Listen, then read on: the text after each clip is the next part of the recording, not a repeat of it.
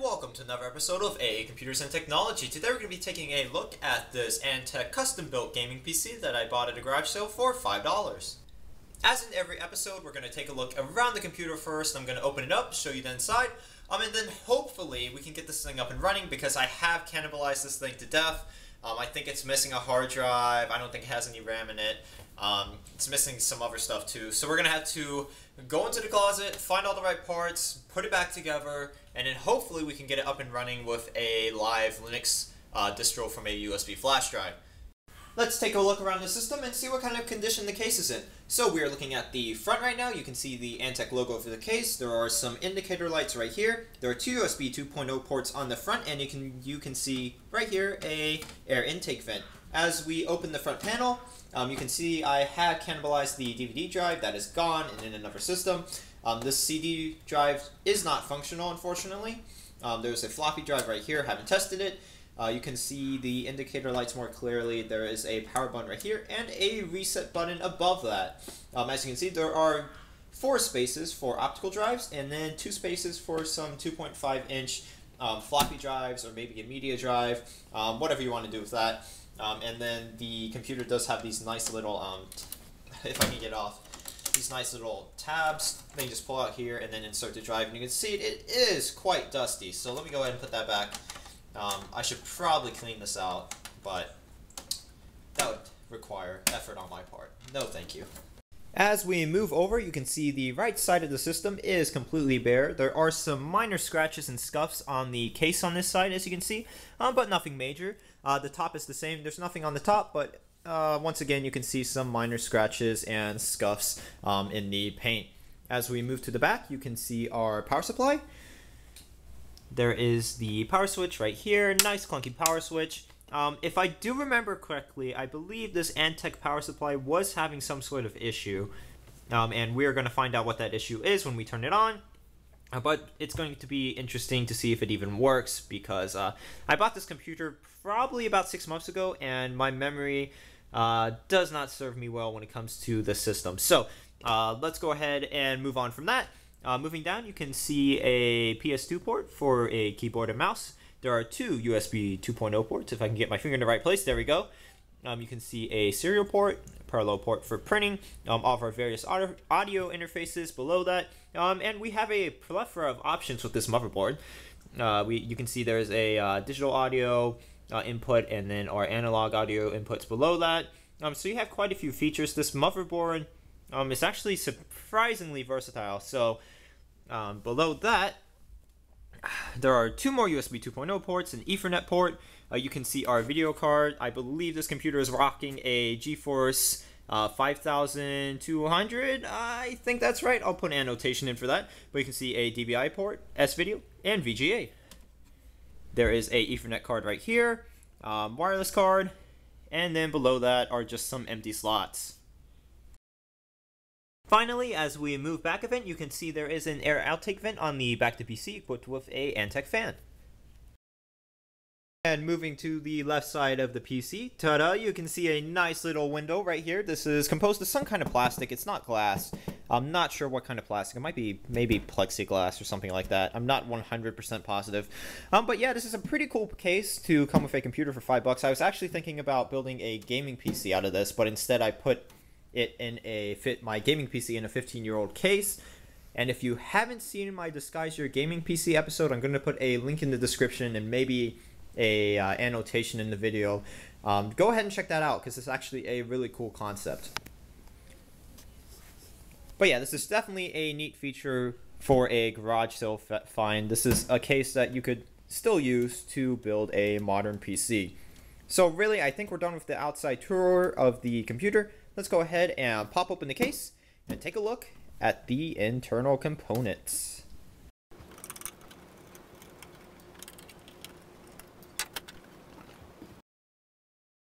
Alright, so we are inside the system, and as you can see, cable management with this thing is an absolute catastrophe. I mean, I've just taken so many components out of this. Um, I've, I, I didn't even bother to put anything back, so it's just awful. Um, have no idea what goes to what. Uh, they're just scattered throughout the case. I mean, really, this is horrible. Uh, if we want to run the system, I'm definitely going to have to organize it because half these cables are going to get cotton fans. Um, and then who knows what will happen after that? Maybe a fire. That'd be interesting. But anyway, starting from the top, you can see that this computer is equipped with a Antec 350 watt power supply. Uh, moving over, there is our CD-ROM drive. I showed you that earlier when we popped open the front panel of the case. Under this heatsink is a Pentium 4 CPU, and then when we boot it up, we can see what the clock rate is and if it is using hyper-threading. Um, I'm not really sure. I think it's around 2 gigahertz. Um, but once again, it's been six months and I don't really remember. This board, though, this motherboard, um, is actually pretty impressive. As you can see down here, it is fully equipped with solid state capacitors. Um, so this is an absolutely lovely motherboard. Um, you can see the CMOS battery right here. Um, there are some more solid state capacitors around the PCI ports. Um, I believe this motherboard is also equipped with SATA, and you saw all of the various audio options we had um, on the back of the system. Yep, there are some SATA ports, probably uh, a very early revision, maybe SATA 2 at most, um, but they're probably SATA 1 ports. And then looking at the bottom of the motherboard, um, there is a AGP slot, which the video card is housed in. And below that, there are one, two, three, four, five PCI expansion slots. Taking a deeper look at this computer, you can see the heatsink for the Northbridge. There are two slots for some DDR333 RAM, which I believe I have a couple sticks in the back, and hopefully those sticks are good so we can boot this computer up into a live operating system. I'm not going to deal with a hard drive. I forgot. No, you know what? Actually, the owner, which made me really angry, but right in front of me, the owner opened the case, pulled out both of the hard drives, and then took them. I mean, which is a smart move on his part, because that means I can't steal any of his information, which, you know, I don't. I wiped the hard drives. Um, when I receive the computers.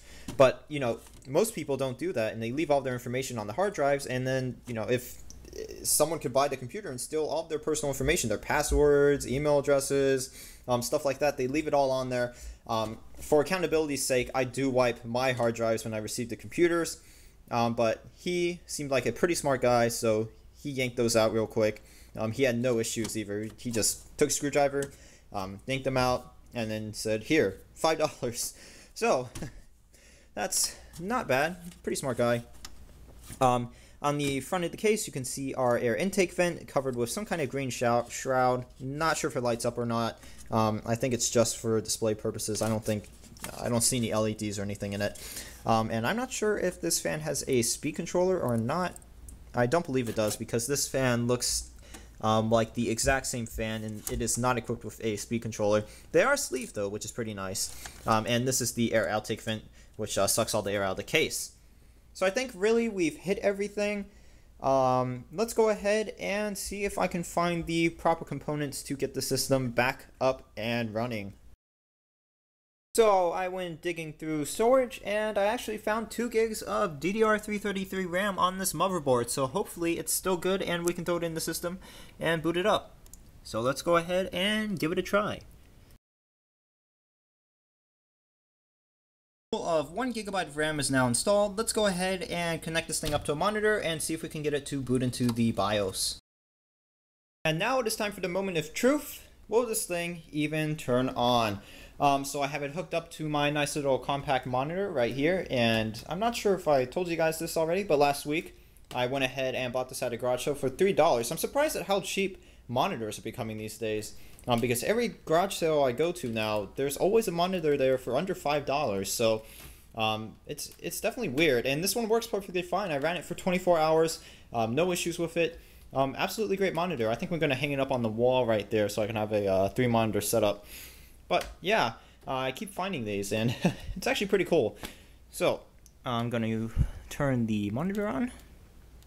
Wherever the power button, oh, it's right here. there we go. And turn the system on, which is on the floor. As you can see, I didn't really mess with cable management. Who cares? And hit that power button. Ooh, that sounds awful. Those capacitors charging sound horrible. Ooh, that fan is not working right there. Interesting. Huh. Well, they all stopped spinning, so I guess that was just an initial um, system. Whoa, look at that. What in the world? Alright, that's interesting. Have no idea what happened. I never... What? I've never ever seen that before. Alright, let's go ahead and turn the system on. It's actually getting kind of scary. I really hope this thing doesn't burst into flames or something. Alright, system on. Oh, now the CPU fan is on and working. Let's see, can we get a video display? Oh, it works. Awesome. Um, so let me go ahead and free up my hand so we can go into the BIOS. Yeah, reboot select proper boot. Oh, of course we don't have a boot device. I know that. Thank you. You know what? Now I notice the CPU fan is not spinning. So maybe it's controlled by the board and the board just shuts it off when it's not hot. Um, we'll test that out in the Linux distribution. Um, I can't see where the cable would be and if it's unplugged or not. Oh, well, that was, there's your problem. Alright, I'll plug that back in and then we can uh, get to work.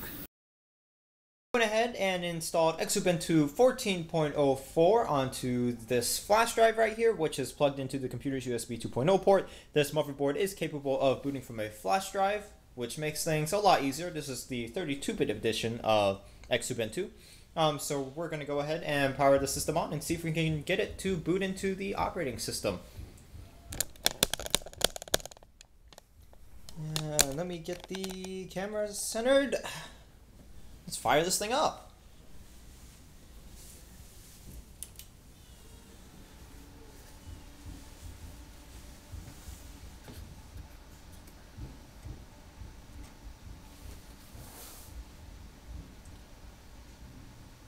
Well it is reading the USB 2.0 drive. Uh, the USB flash drive, sorry, I don't know what I was saying there and we can see the Xubuntu boot screen. So we want to try Xubuntu without installation, which is the uh, default option. So it should select that automatically and begin booting into the live operating system. Maybe.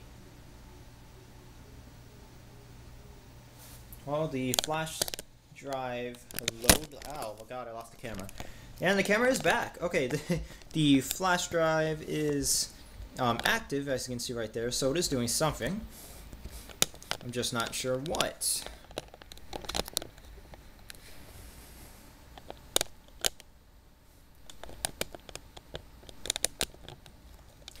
Oh god, I'm so tired.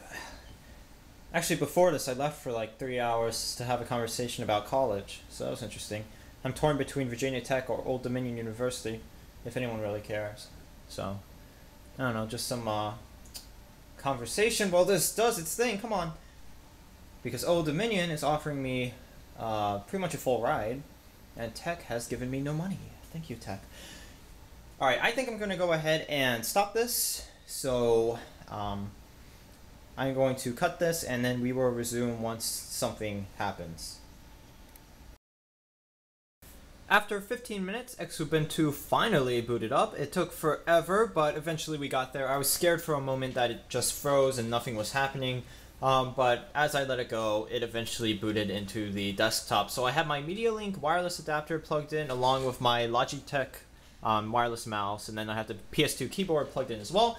Um, let's go ahead and try to do some stuff on this computer. First, um, Mainly when I use systems like this, it's usually for basic tasks such as word processing or web browsing, so that's usually what I like to demonstrate. Um, obviously, this isn't going to be capable of gaming or anything. Um, after all, this does have a GeForce FX 5200 in it. Um, so really, I mean, we're going to be lucky if we can play some standard definition video off of YouTube. So let's go ahead and open up Firefox. Let's see how long it takes to load. And while I'm doing that, why don't I go ahead and open up a task manager.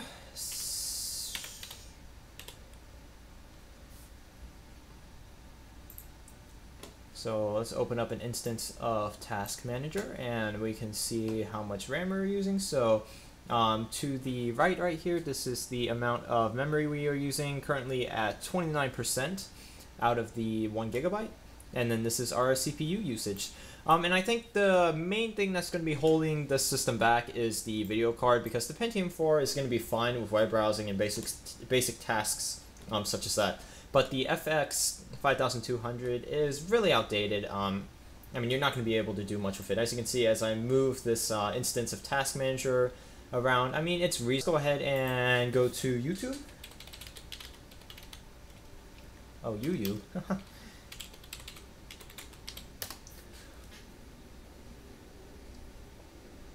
that was pretty snappy. Alright, let's go ahead and go to my channel.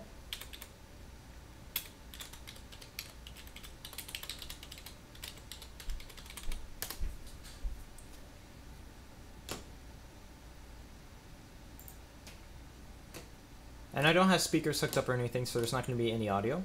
Um, and let's just go ahead and open up the What We Want episode with the external PCI Express. Alright. Let's go ahead and skip this ad. Once it gives us the option to.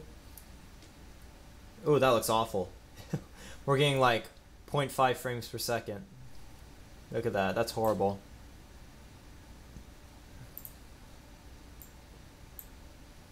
And as you can see, our CPU usage shot up too because this GPU just isn't helping.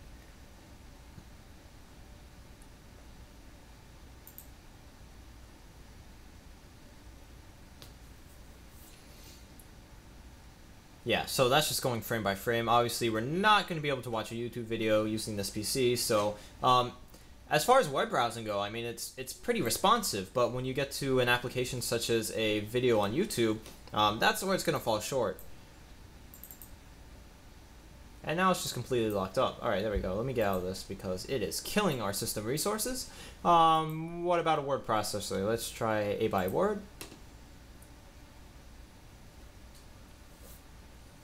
And of course, load times might be affected by the fact that we are using a USB flash drive um, instead of actually installing the operating system onto a hard drive, which is too much work.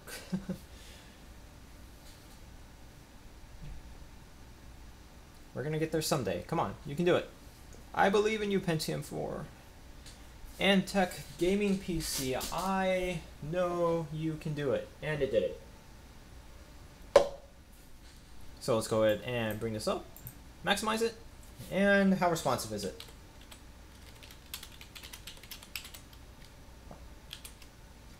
Oh, there's a small pause there. Let me try some typing something else.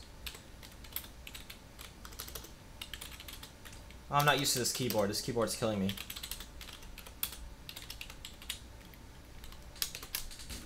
Let's try, I don't know, just like a basic task. Let's align it.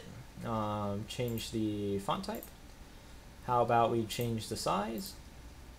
And then, uh, I mean, really? That's about it. We could change the color too if we wanted to. Or orange, yeah. Alright, so that works just fine. Close out that. No, I don't want to save. And then finally, let's go ahead and go around the File Manager, uh, see how responsive that is. I mean, that's pretty much instantaneous.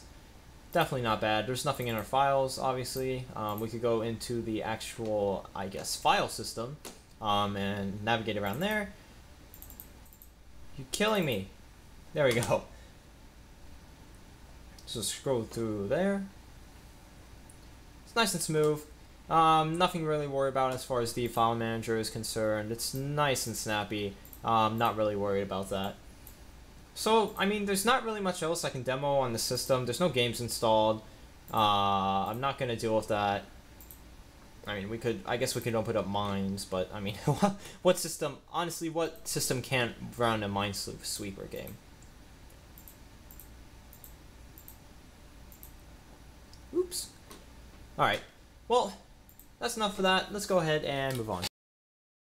Alright, so I think that's going to be about it for this video. If you have any questions, comments, or concerns, you can go ahead and post a comment in the comment section. Please do not forget to like this video, and of course, please do not forget to subscribe to my YouTube channel. Uh, if you have any critique for me, you can also leave that in the comment section as well. I always appreciate that from you guys.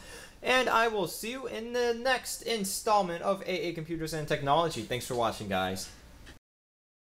And on a final note, I have noticed that this fan does not light up. And I have also just found a screwdriver in the computer. Interesting. Huh.